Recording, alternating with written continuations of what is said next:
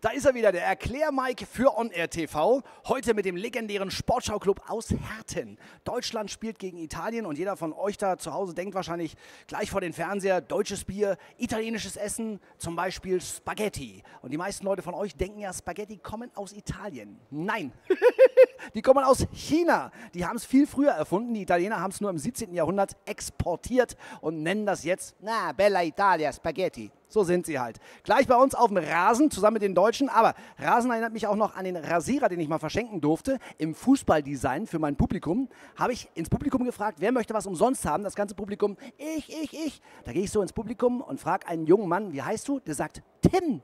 Ich sage, Tim, sag mal, wie alt bist du denn? Er sagt, acht. Ich sage, Tim, was willst du zur Hölle mit einem Rasierer als achtjähriger Junge? Und er ganz frech zu mir, der ist für meine Mama. Und die saß daneben, äh? Viel Spaß heute.